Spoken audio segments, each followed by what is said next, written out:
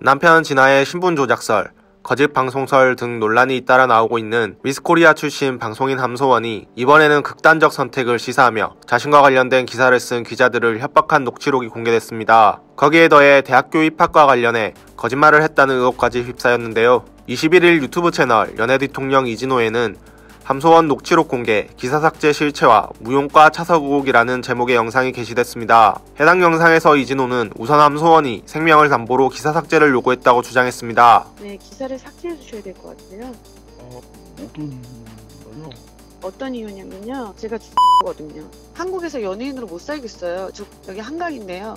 방송 출연 안 할 거예요. 기자님 어제가 마지막이었어요. 이제 방송 출연 안 할 거예요. 기사 삭제를 요구하며 은퇴를 시사했지만 2월 해당 통화를 한 이후 3월 23일 TV조선 아내의 맛 녹화에 참여한 것으로 알려졌습니다.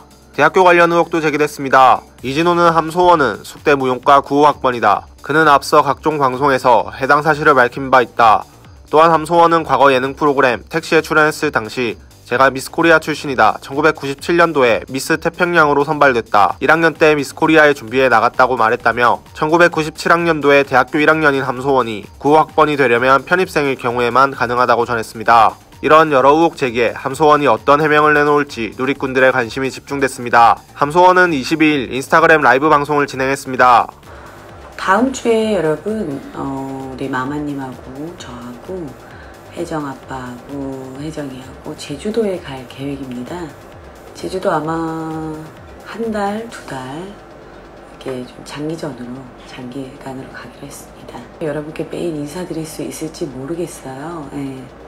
향후 계획을 말하면서도 함소원은 최근 자신을 둘러싼 여러 논란엔 별다른 해명을 하지 않았습니다. 평소 함소원은 제품을 홍보하거나 일상을 전하면서 거의 매일 인스타그램 라이브 방송을 했지만 자신을 향한 논란이 불거질 때마다 해명보다는 침묵을 선택했습니다. 한편 함소원은 최근 TV조선 아내의 맛에서 불거진 조작설을 사실이라고 인정하고 프로그램에서 하차했습니다.